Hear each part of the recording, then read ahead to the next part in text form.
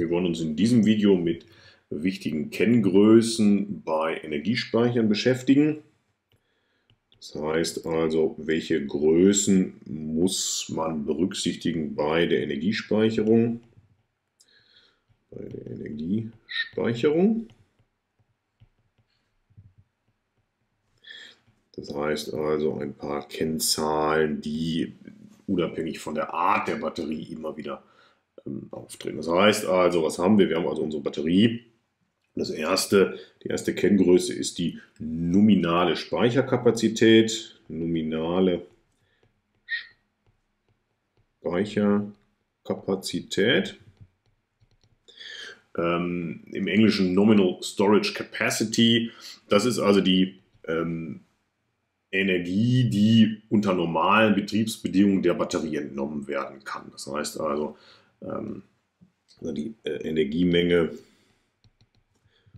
die Energiemenge, die unter nominal oder unter normalen Betriebsbedingungen, unter die unter normalen oder typischen Betriebsbedingungen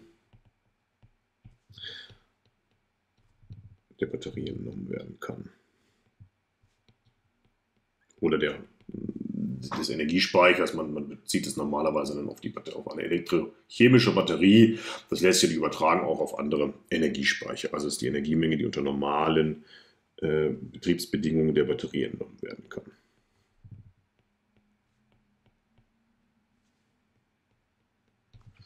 Das ist also der, der erste Punkt. Als zweites ähm, davon zu unterscheiden ist dann die nutzbare Speicherkapazität nutzbare Speicherkapazität, die typischerweise etwas kleiner ist.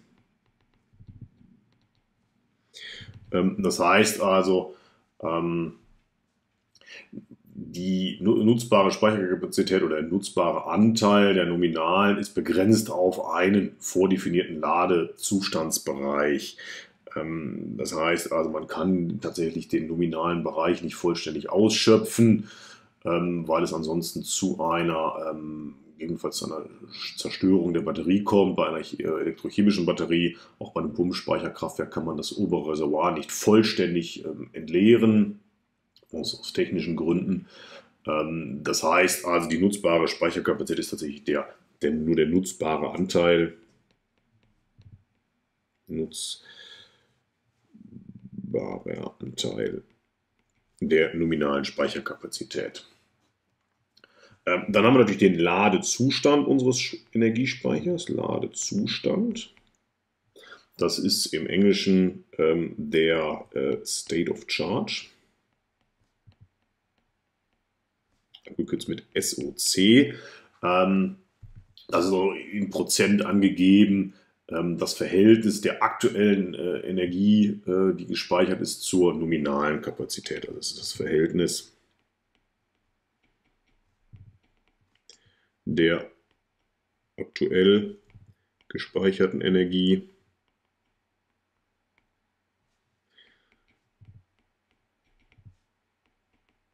und zwar dann bezogen auf die nominale Kapazität.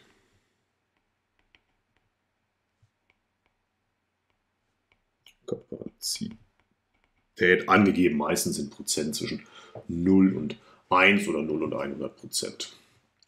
Dann haben wir noch die Entladetiefe. Entladetiefe. Im Englischen Depth of Discharge. Depth of Discharge. Und die englischen Begriffe deswegen, weil die tatsächlich in der Literatur häufig ähm, angegeben werden. Also die Entladetiefe äh, gibt quasi an, wie weit man eine Batterie maximal äh, laden und entladen kann. Das heißt, das ist hier die Differenz zwischen äh, dem minimal und maximal erlaubten Ladezustand, zwischen dem minimalen und maximalen Ladezustand der Batterie. Das heißt, das gibt dann an in, in, in Kilowattstunden, wie groß der, äh, die Lade, äh, die, die Energie ist, die man einer Batterie zuführen kann oder ähm, entnehmen kann. Dann ein weiterer wichtiger Punkt äh, ist der äh, Lebenszyklus. Lebenszyklus. Äh, Im Englisch der Cycle Life. Das ist also die Dauer, bis die Speicherkapazität einer Batterie auf 80% der ursprünglichen Kapazität gefallen ist. Also äh, Lebenszyklus im Englischen Cycle Life.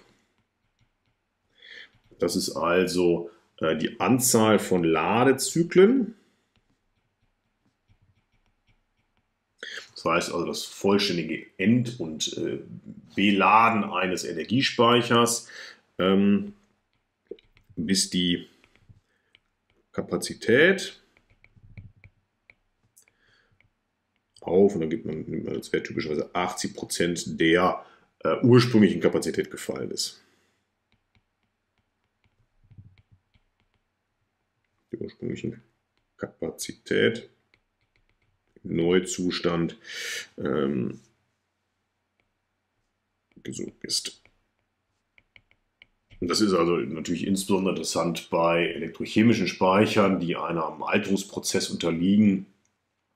Ähm, das kennt man persönlich sicherlich vom äh, Smartphone, das dann ähm, nach einer mehrjährigen Benutzung einfach nicht mehr die Speicherkapazität aufweist, die es als Neuprodukt hat.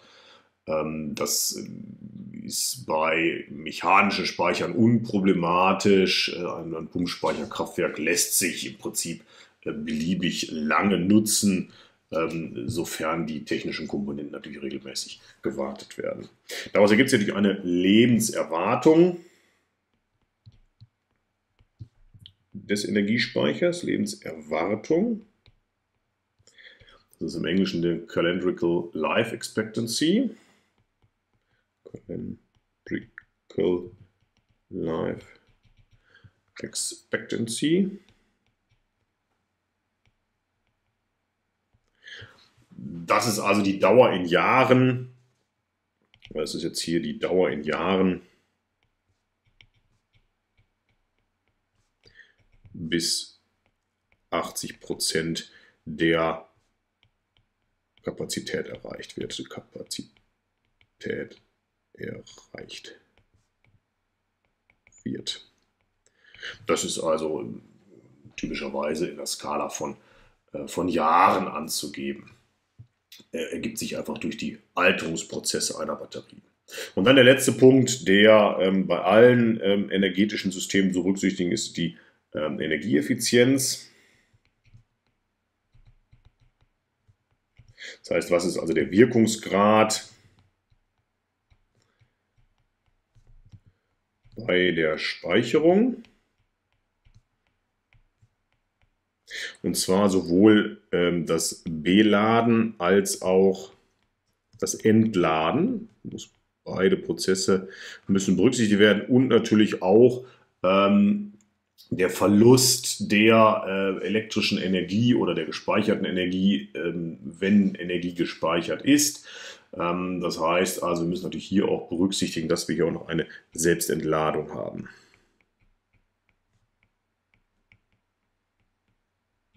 Diese Kennzahlen hängen natürlich von der Art der Batterie ab. Das kann im Bereich von ähm, 39 Prozent liegen. Das wäre dann wäre man im Bereich von Power to X. Ähm, das ist ein sehr äh, energieineffizienter Prozess, um Energie nach jetzigem Stand in Gasen zu speichern. Ähm, wird ähm, Energie mechanisch gespeichert, sind wir im Bereich von 80 bis über 90 Prozent.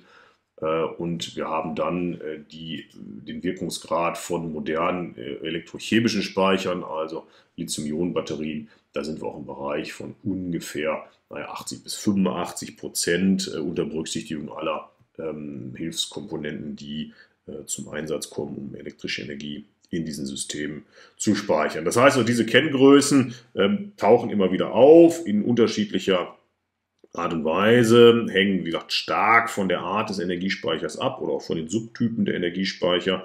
Wenn man jetzt bei den elektrochemischen Speichern von einer ähm, von einer Bleisäurebatterie ausgeht, die man aus dem Auto kennt, oder den Lithium-Ionen-Akkumulatoren, die man hat, äh, mit einer deutlich besseren, ähm, mit einem besseren Wirkungsgrad und einer äh, deutlich besseren Entladetiefe, das heißt auch eine höhere Lebenszykluszahl, ähm, die man erreichen kann.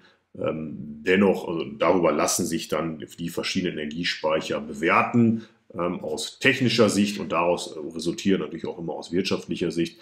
Denn dann ein entscheidender Punkt, den man natürlich dann immer hat, ist, was sind die äh, Kosten, äh, die wir haben bei der Energiespeicherung. Und das ist dann der ähm, letzte Punkt, den wir hier noch aufführen wollen.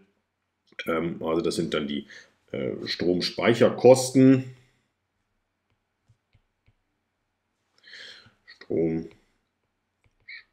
Stromspeicherkosten, das heißt also, was kostet die Kilowattstunde äh, Energie, ähm, die man dann aus der Batterie entnimmt. Das ist dann im Englischen, ähm, ist das die Levelized Costs of Storage. Ähm, das ist dann LCOS, Levelized Costs of äh, Storage, die man vergleichen kann, äh, um äh, verschiedene Energiesysteme oder Speicher miteinander äh, vergleichen zu können. Ähm, und das heißt, also wie, wie, wie, wie teuer ist das in also Kosten für die Energie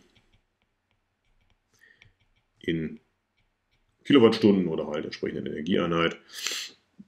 Natürlich dann in Euro pro Kilowattstunde, also ähm, Geldeinheiten. Ähm, auch da unterscheiden sich die Energiesysteme natürlich, was diese Levelized Costs of Storage angehen. Ähm, das ist, äh, unterscheiden sich auch die, die elektrochemischen Speicher. Ähm, da sind wir mittlerweile im zweistelligen Euro-Cent-Bereich pro Kilowattstunde. Ähm, bei großen Pumpspeicherkraftwerken muss man natürlich den ganzen Lebenszyklus berücksichtigen, ähm, die natürlich dann den ganzen äh, Prozess und damit auch den Strom aus diesen Systemen äh, verteuern. Ähm, entsprechend ähm, lassen sich auch äh, Energiespeicherkosten ähm, ermitteln für einen Wärmespeicher. Das heißt, wie groß ist die äh, Energie, die wir aus einem Wärmespeicher ziehen, wie, wie, teuer ist diese Energie und wie lässt sich das vergleichen mit den äh, direkten Bezugskosten von, einem, äh, von der Wärme äh, aus einem Gasbrenner.